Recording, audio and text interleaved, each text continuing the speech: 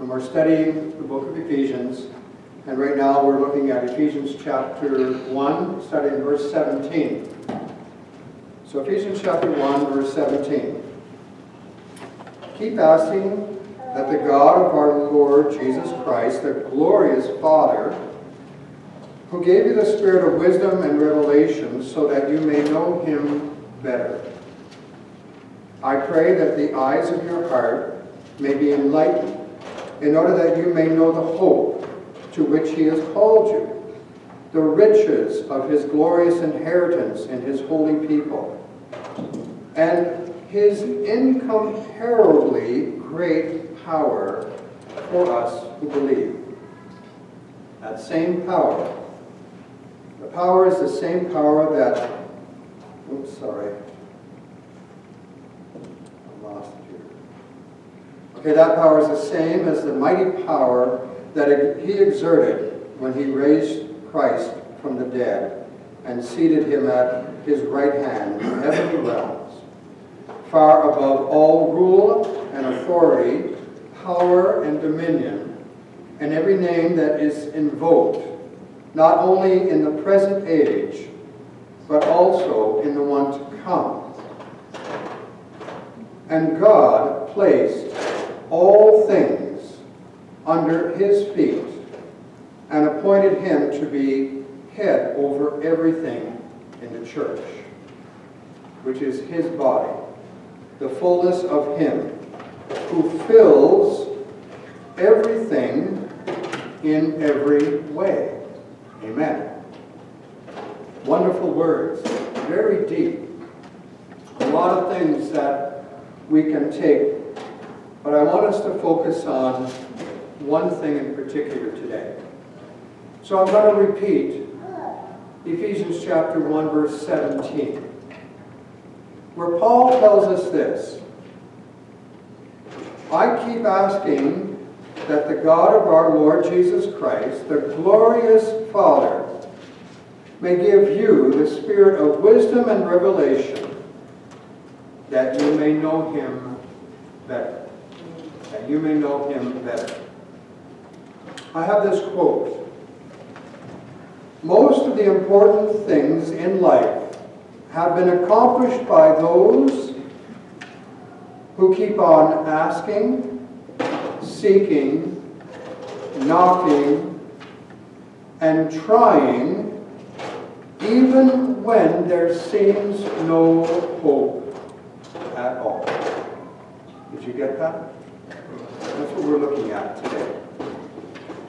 And in looking at uh, that, I want us also to consider the words that we read from Jesus in chapter 7 of Matthew, where he states this.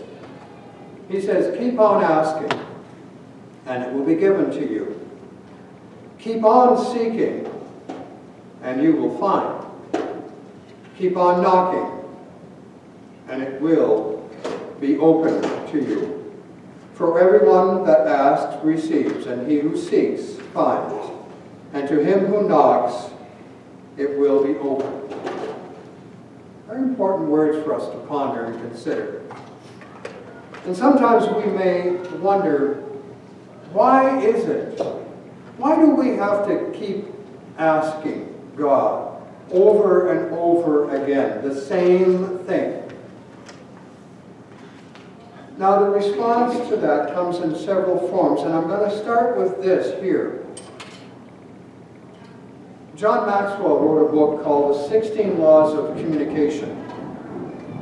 Chapter 4 of that book is entitled Know Your Audience. Know Your Audience. It's really important for good communicators to know their audience, to know who they're speaking to. I have a friend who does teaching with diesel mechanics. Let me tell you, there is a difference in teaching people who are diesel mechanics than people who usually come to a church on Sunday morning. There's a big difference.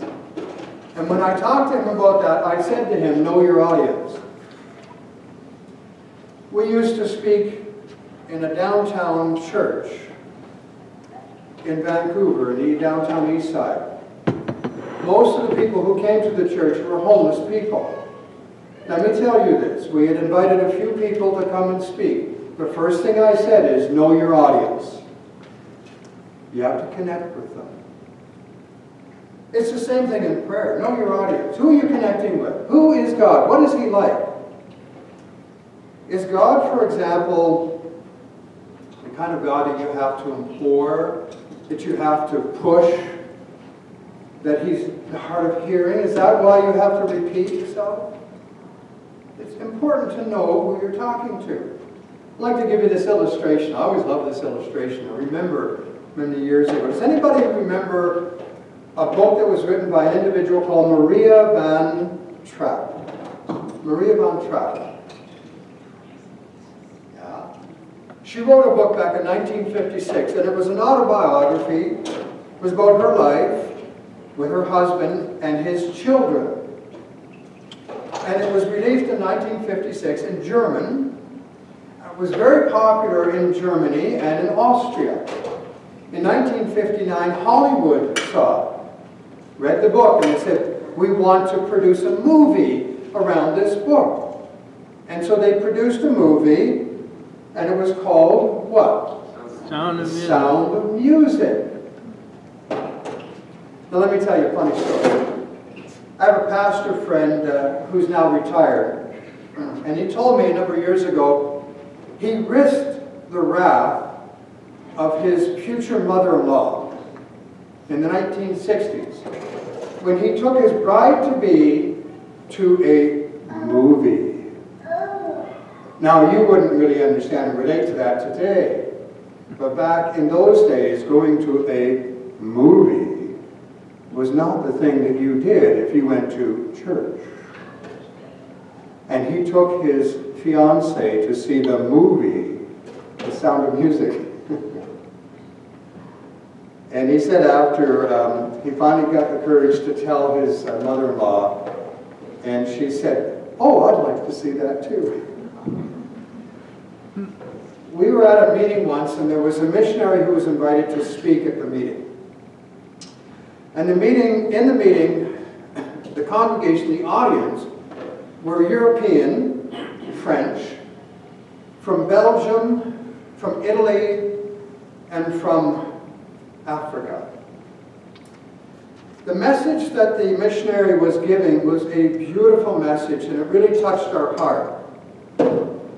But there was a problem. He had chosen a main point to illustrate his message. And he used for the illustrations of his message the movie, The Sound of Music. Now remember, The Sound of Music was written in German, and so German people would know the story. It was then produced in English, and so the English people would know of the movie. But these were people from France and Italy and Belgium and the Congo and Zaire. And when he was trying to illustrate the points of his message with the movie, everybody was dumbfounded. They couldn't believe what he was talking about. They couldn't understand it. And so he eventually turned to the interpreter and he said, you know the movie, The Sound of Music? And he went, no. And right then and there, Judy and I know that, knew that it was completely lost and that nobody was going to understand what he was talking about. Why is that? Because he didn't know his audience. So what kind of God are we talking with? Why do we have to keep asking God the same thing over and over again? Is God reluctant to give to us? Does he resent every imposition upon him? Do we have to squeeze or pressure him into doing stuff to help us? Or perhaps God is like a, a doting grandfather who will just lavish gifts on their grandchildren with no consideration of the negative impact. Understand who God is. Understand who he is talking to. And why the reason he asks us to implore him, to talk to him over and over again about the same thing. When Jesus told the people to keep asking and to keep seeking and to keep knocking. He gave them this illustration. And Peter, and, Jesus, like Paul, is very intentional. And so his illustration was well given to the, his audience, to his people. And he says to them this, he says, you parents, if your children ask for a loaf of bread, do you give them a stone instead? Now, it's quite possible that he was uh, talking about a sea. And if you know by the sea, you would see a lot of smooth rocks, right? They're, they're continually washed over by the waves, and they're smooth. And limestone is very pliable, and so limestone would smoothen out. And it's possible that you would even pick up a rock that had been smoothed over by the waves. And it would resemble a loaf of bread to them. And he'd say, you parents, if your children ask for a loaf of bread, would you give them a stone? And of course they'd look and they go, of course not, we wouldn't do something like that. And then he says, if, you, if they ask for a fish, you know, there could be fish by because there's fishermen around. Would you give them a snake? Understanding that the snake to a Jewish person is one of the worst creatures that you can consider of, Would you give them something evil? Of course not, he says. So then he turns to them, and remember, he's talking to the Jewish people, he's talking to the rabbis, he's talking to the religious leaders. And he says, You, if you are, you who are sinful people, know how to give good gifts to your children, how much more will your Heavenly Father give good gifts to those who ask Him? And remember, like I said, he's gearing it towards his audience, and he knows that these are people who would love their children, would love their family, and would want to provide for their needs. Not to mock their needs, but to provide for their needs. And he says, if you know how to give good gifts to your children, how much more will your Heavenly Father give good gifts to those who ask Him? God loves us. God cares for us. And He believes in us. And of course He's going to provide the best for us. But why do we have to keep asking? And, and Paul also, or Peter also repeats this teaching to the Ephesians. And he's teaching it now to the Greek. And the Greeks would understand it too. Because you see, in their legends and their stories of their little deities, they would understand that if you ask one of their deities for help, then the answer could come with a barb. You know what I mean? With a barb, a hook. If you go fishing, you are giving the fish a tasty morsel. We put a minnow on a what? Uh, hook. There's a catch involved. You can have this, but I got you after. Get the point? And that's what the Greek gods were like. Let me illustrate this. I'll give you the story. In the Greek legends, there's the, the goddess of the dawn, whose name is Aurora. And according to the legend, she falls in love with a mortal young man by the name of Tithonus. And so, as the legend states, she goes to the, the head deity, which is Zeus, and she asks Zeus, will you do me a favor? Will you give me a gift? Will you bless me? I've fallen in love with this man. And he says, I will give you whatever you ask. So she asks Zeus that this young man might live forever. And Zeus smiles and says, why, of course. And so Tithonus, or Tithonus, never dies. However, there's a bar. He never dies, but he gets older and older and older and older as Aurora stays young. He keeps getting older, but he never dies. You see, there's a bar. That's what they're like. And Zeus goes, I got you. You weren't clear in this. You said, live forever. You didn't say live forever and stay young, did you? You see, that's what they were like. And so Paul is saying to them, God loves you. God cares for you. God wants the best for you. Keep asking. He's telling them that God will answer, but He'll answer in His time, in His wisdom, in His love. And what He does for us is always best. It's never going to turn out with disasters. He's going to apply His love, His understanding, and His knowledge, and His wisdom. And so He says, keep asking, keep seeking, keep knocking. Now, what in essence He's telling us is to persist. Don't give up. There is a purpose and a reason that God asks us to keep on asking and keep on seeking and keep on praying. Let me give you another illustration. As a young, and I hate to admit it, but rather arrogant young man, I had received at one time when I was in a uh, performance review a near fatal blow to my weak male ego. And I like to say that because our ego, we always say we're strong, but it's, oh, never mind, I don't have to go there, you all know. In the interview, this is what I was told. I was told that I wasn't persistent and that I tend to give up on things. To which I responded silently, suffering silently, ouch, that hurts. That's not fair. That's not right.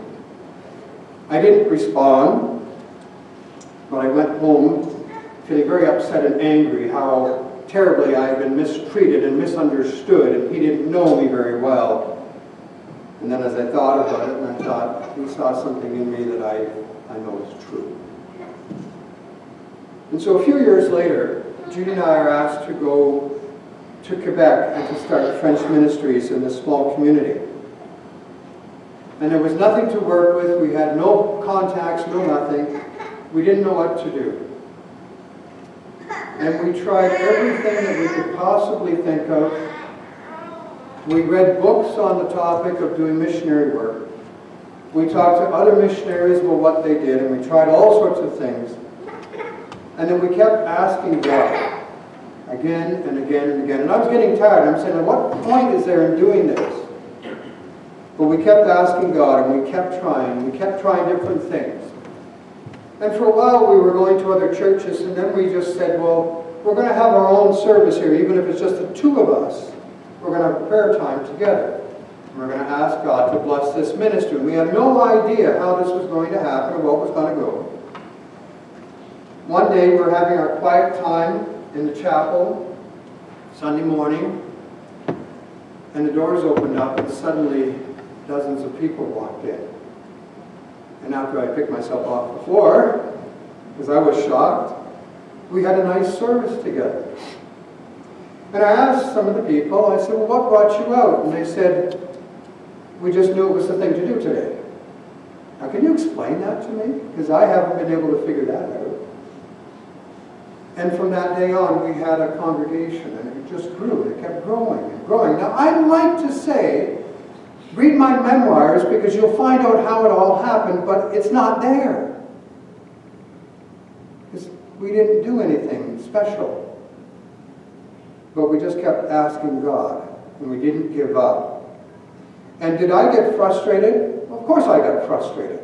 Why aren't you asked, why aren't you doing anything, God? We believe this is right. We know this is right. Why aren't you doing anything? But we kept on knocking. We kept on seeking. We kept on asking. And the congregation grew. But the person who grew the most is me. I'm the one who learned the most from that. I learned that you keep on asking, even when you feel like giving up, that you keep on persisting.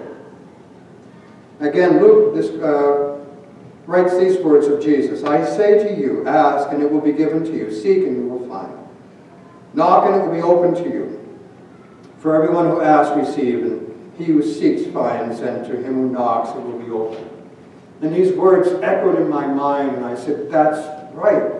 I can't explain everything, but that's right. But one thing I learned from it is don't give up.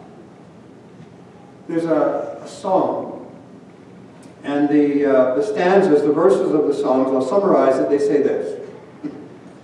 When the water's too high, when the street's too high, when the night is too black, I will carry. And the chorus, and I think so many of you know the chorus, got any rivers you think are uncrossable? Got any mountains you can't tunnel through? God specializes in things thought impossible. And he can do what no other power can do. So that's why we persist in prayer. That's why we continue to pray for the same thing. Winston Churchill stated, Never give up on something that you can't go a day without thinking. And then I add to it, if you can't go a day without thinking about it, then pray about it instead of worrying about it. There are so many people, so many people, who set such good and healthy and productive goals for their life, only to give up because it's too difficult. Because it means just going over the same thing over and over again.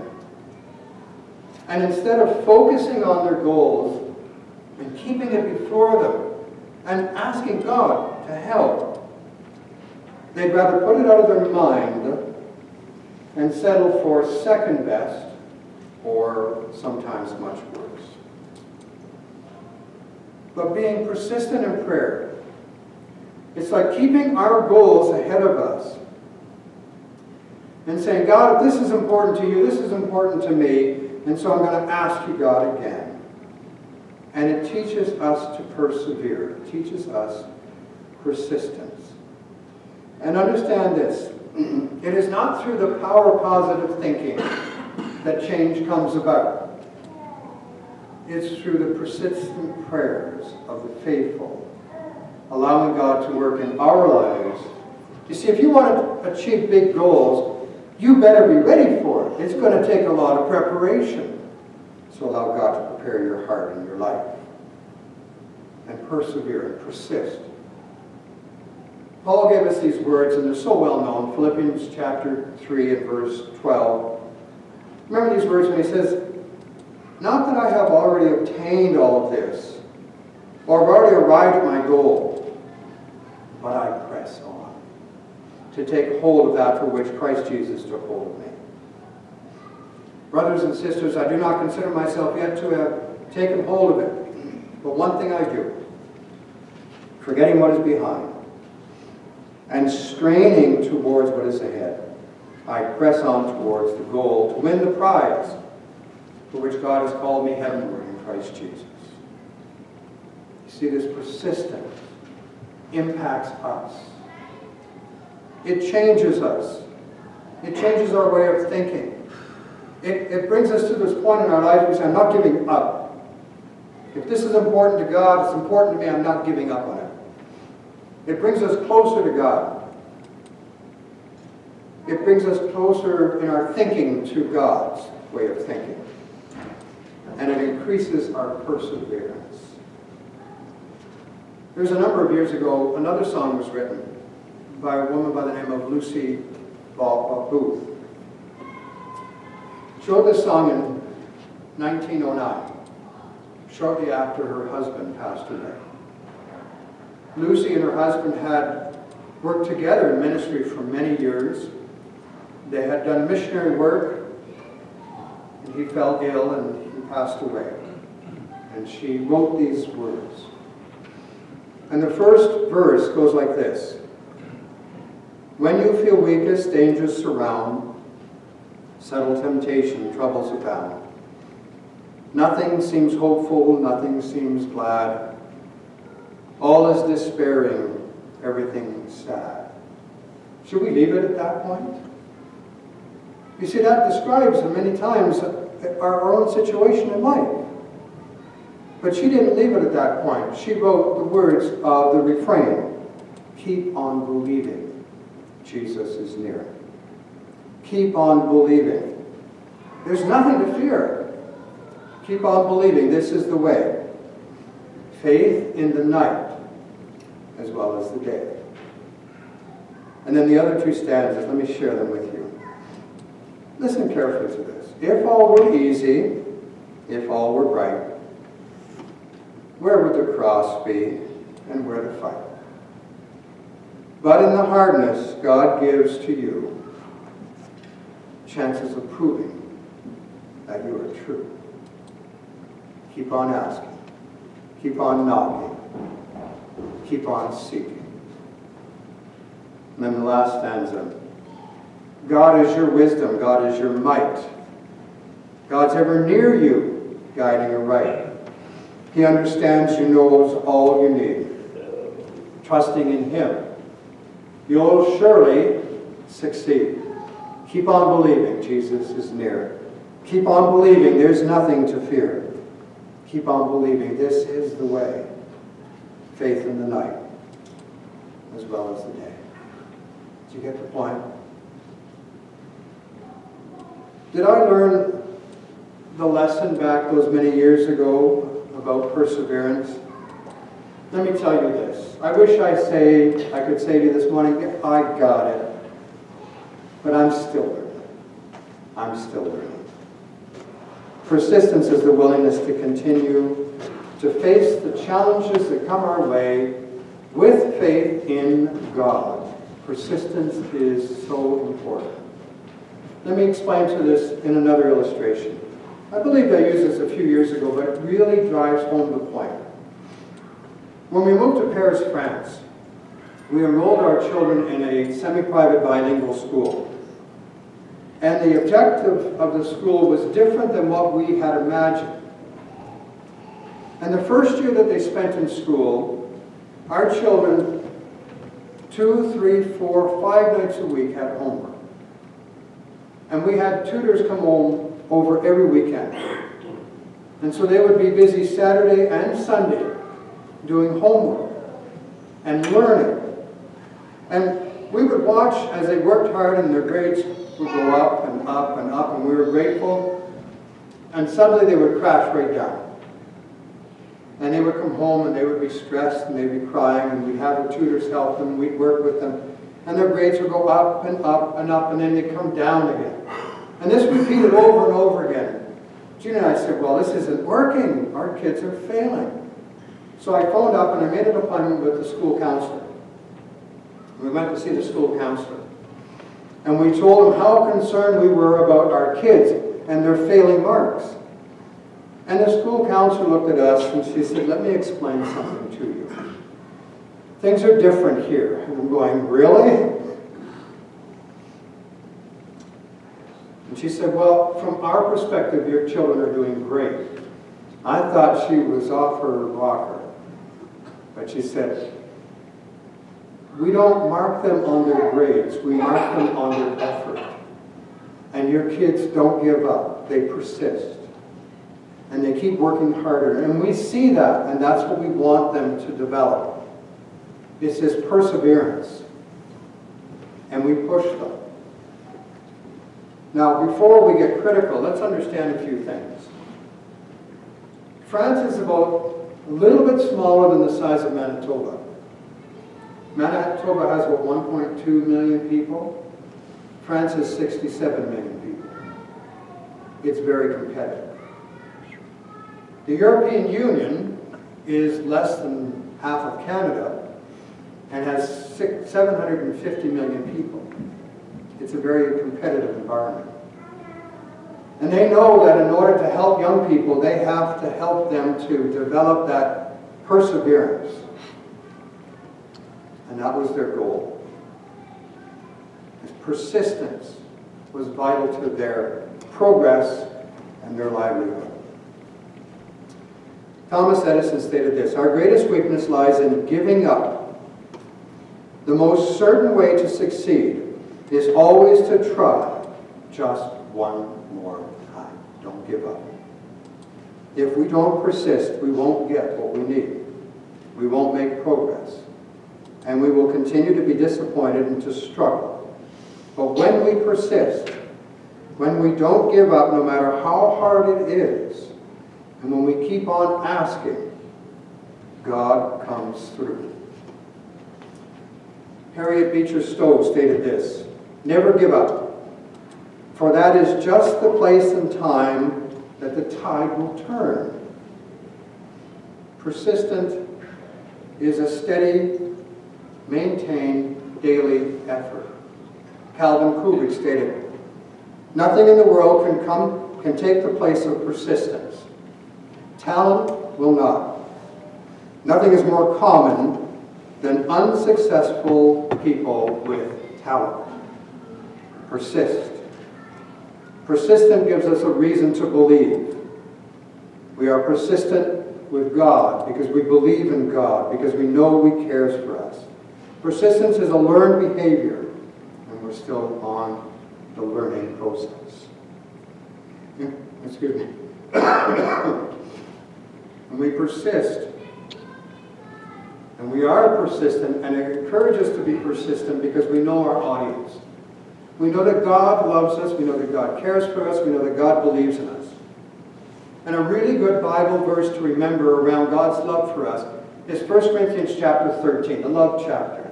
We often say this is a nice chapter to tell other people how to love. We sometimes forget that this chapter describes God's love for us, how much he cares for us and he believes in us. So let's read it again. 1 Corinthians chapter 13, chapter 13, verse 4. And when I say this, think about God. Love is patient. Love is kind. It does not envy. It does not boast. It is not proud. It does not honor other, dishonor others. It is not self-seeking. It is not easily angered. It keeps no record of wrongs. Love does not delight in evil, but rejoices in truth. And again, think about God. Always protects, always trusts, always hopes, always perseveres. God believes in us. And God wants us to learn to persevere and to believe in ourselves. And so he reminds us again, keep on asking, keep on seeking, keep on knocking. Keep on, persist, do not give up. And this will build a relationship, a stronger relationship with God.